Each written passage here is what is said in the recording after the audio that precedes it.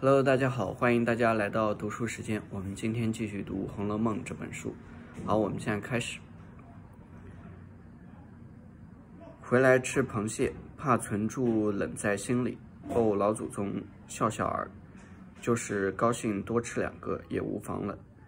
贾母笑道：“明日叫你黑加白日跟着我，我倒常笑笑儿，也不许你回屋里去。”王夫人笑道。老太太因为喜欢他，才惯得这么样，还这么说，他明儿越发没理了。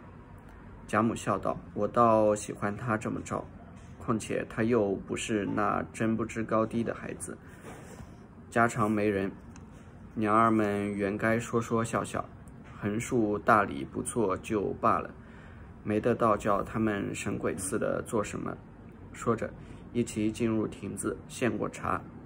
凤姐忙安放杯，忙安放杯主，上面一桌，贾母、薛姨妈、宝钗、黛玉、宝玉东边一桌，湘云、王夫人、银叹息，西边靠门一小桌，李库和凤姐虚设座位，二人皆不敢坐，只在贾母、王夫人两桌两桌上伺候。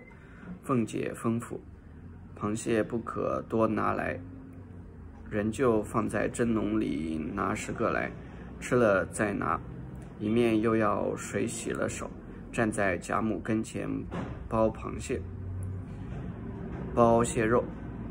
头次让薛姨妈，薛姨妈道：“我自己掰着吃，香甜，不用人让。”凤姐便奉与贾母，二次的便与宝玉，又说。把酒烫得滚热的拿来，又命小丫头们去取菊花叶儿、桂花蕊熏的绿豆面子，预备着洗手。湘云陪着吃了一个，便下座来让人，又出至外头，命人剩两盘子给赵姨娘送去。又见凤姐走来道：“你张罗不惯，你吃你的去。”我先替你张罗，等散了我再吃。湘云不肯，又命人在那边廊上摆了两席，让鸳鸯、琥珀、彩霞、彩云、平儿去坐。鸳鸯应应向凤姐笑道：“二奶奶在这里伺候，我可吃去了。”凤姐儿道：“你们只管去，都交给我就是了。”说着，湘云人入了席。湘云人入了席，凤姐和李库也胡乱应了个景儿。凤姐仍旧下来张罗，一时出至廊上，鸳鸯等正吃得高兴，见他来了，鸳鸯等站起来道：“奶奶又出来做什么？让我们也受用一会子。”凤姐笑道。鸳鸯丫头越发坏了，我替你当差，倒不领情，还抱怨我，还不快斟一盅酒来我喝呢？鸳鸯笑着，忙斟了一杯酒，送至凤姐唇边。凤姐一挺脖子喝了，琥珀、彩霞二人也斟上一杯，送至凤姐唇边。那凤姐也吃了。平儿早替了。一颗黄字送来，凤姐道：“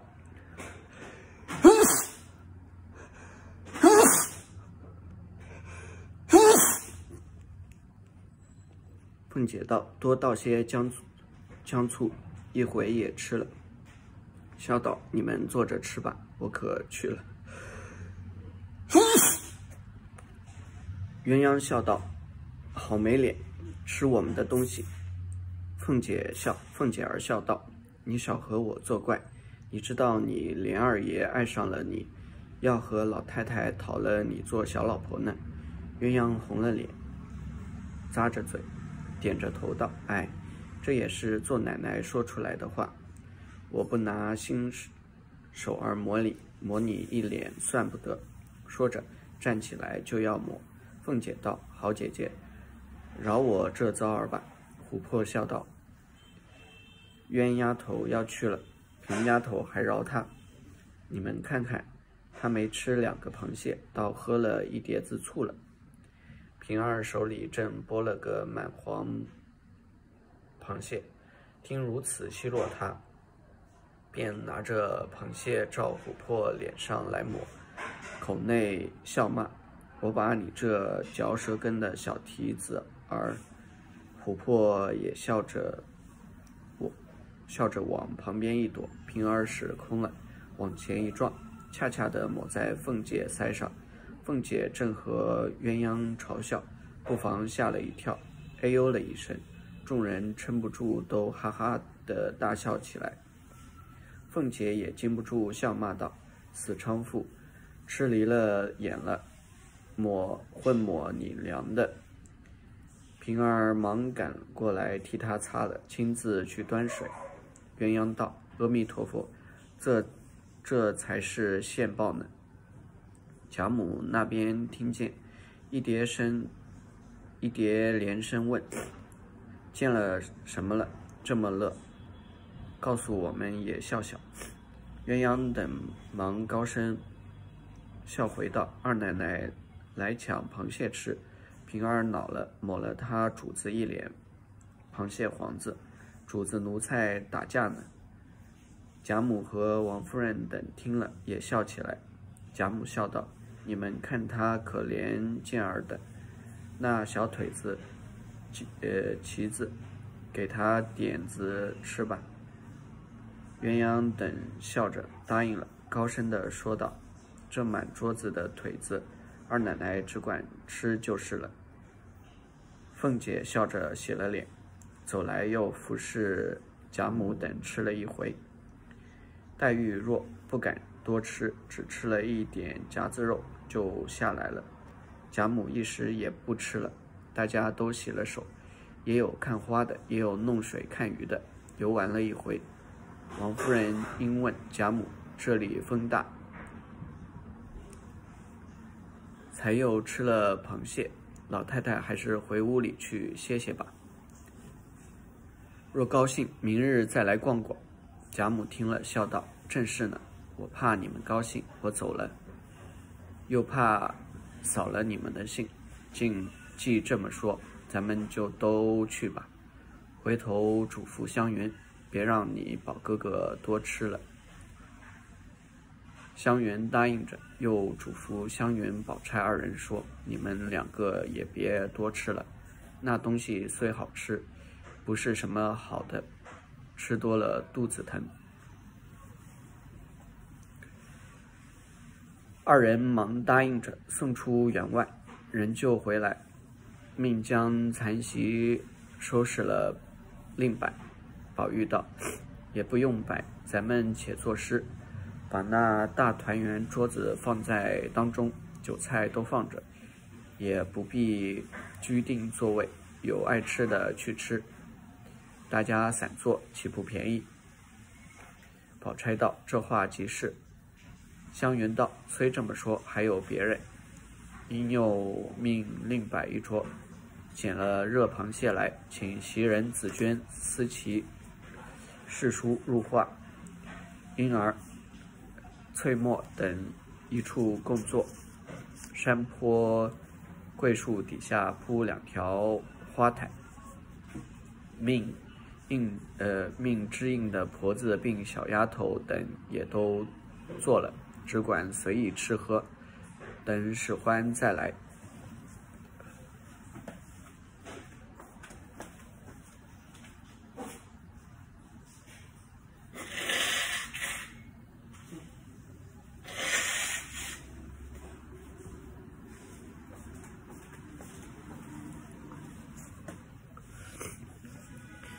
香云便取了尸尸体，用针管。在墙上，众人看了都说新奇，只怕做不出来。湘云又把不献韵的缘故说了一番。宝玉道：“这才是正理。我也最不喜献韵。黛玉因不大吃酒，又不吃螃蟹，自命自命传了一个绣墩。”倚着自命人传了一个袖墩，倚栏坐着，拿着钓竿钓鱼。宝钗手里拿着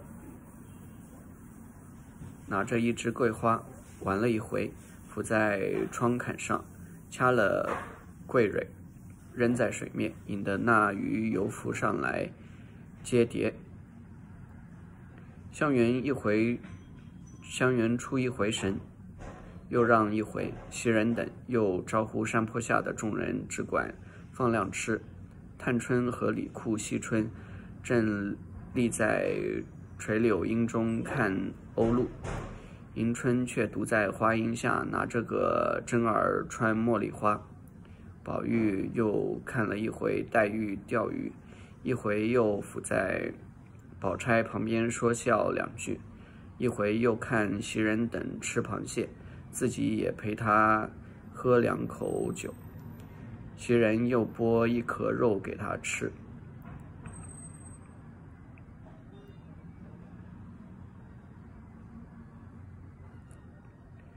黛玉放下钓竿，走至座间，拿起那乌银梅花自斟壶来。捡了一个小小的海棠冻石蕉叶杯，丫头看见，知她要饮酒，忙着走上来斟。黛玉道：“你们只管吃去，让我自己斟才有趣儿。”说着便斟了半盏，看时却是黄酒。因说道：“我吃了一点子螃蟹，觉得心口微微的疼，须得热热的吃口烧酒。”宝玉忙接着，忙接道：“有烧酒。”便命那欢合合欢花敬的酒烫一壶来。黛玉也吃了一口，便放下了。宝钗也走过来，另拿了一只杯来，也饮了一口，放下，便沾毛，便沾笔至墙上，把头一个一局勾了。底下又缀一个横字。宝玉忙道：“好姐姐，第二个我已有了四句，第二个我已有了四句了，你让我做吧。”宝钗笑道：“我好容易有了一首，你就忙得这样。”黛玉也不说话，接过笔来，把第八个问句勾了，接着把。第十一个菊梦也勾了，也缀上了一个萧字。宝玉也拿起笔来，将第二个仿菊也勾了，也缀上了一个怡字。